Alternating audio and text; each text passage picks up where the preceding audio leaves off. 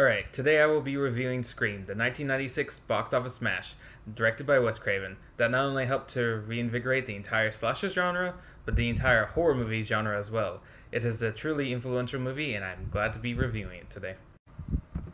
Okay, so first up, I'm going to be talking about the acting in this movie, which I believe is really good. Um, the main cast stars Neve Campbell, David Arquette, Courteney Cox, Rose McGowan, and Drew Barrymore, who all do a superb job of just getting you into the movie and making you care about the characters that they are playing. Um, the rest of the cast also does a good job of being interesting characters or maybe possible suspects. You don't really know until the end of the movie. Um, they make you feel the fear that they have when they are put into life or death situations, and you can just really feel their desperation to get out of that situation. Um, and the killer, who I won't reveal now, does a really good job of playing a psychopath. Like, you have to see it to get what I mean. Okay, now on to the cinematography and music of this movie, which I thought really complement the overall feel and horror aspects of the movie.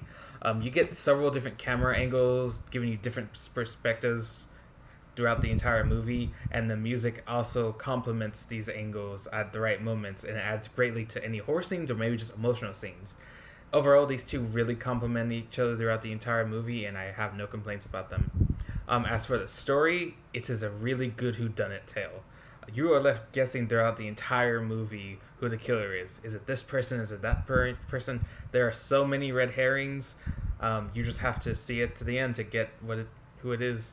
Um, this is also a really meta movie in that it's very self-referential to other genres and to its own genre. People in this movie are aware of other horror movies and even real life actors.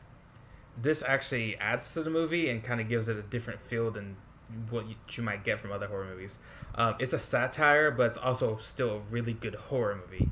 Um, and the two parts that lots of people like and love about this movie, which I do as well, are the opening, 13 minutes, and the closing like hour. They're just really superb.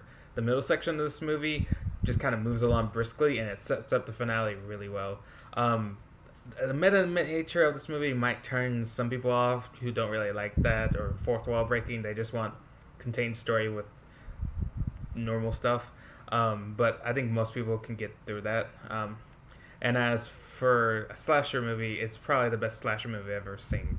So obviously, I have high praise for it, and that's why I am giving it a heavy recommendation to buy this movie on sight.